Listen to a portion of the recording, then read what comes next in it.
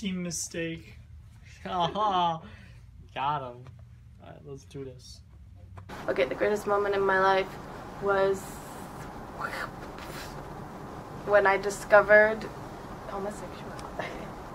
I don't know. Why do you whisper that? Because I feel dirty. It's a sin. I went to a Catholic school. Did you know that?